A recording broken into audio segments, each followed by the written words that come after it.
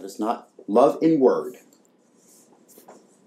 or in tongue, but in deed. Behold the work work of the truth. Is that right? Or the love of the truth? Work of the truth. Love with a hug. So think about that. What does it mean?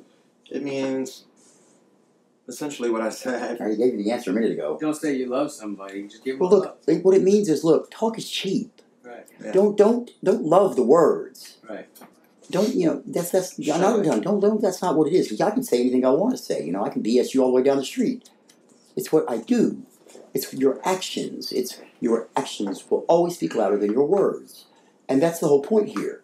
Is you know, look, I don't care how lofty your words are. I don't care how grand you describe your life or your plans or your future.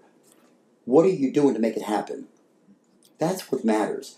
What steps are you taking? Are you going? Are you moving your feet? Are you, you know, doing something every day for God, for your community, for others? Because we are what? Men and women for others. That all fits in together here. That's how you do it. It's not about talking about it, it's about doing. It's not about talking, it's about doing. It's not about words, it's about action.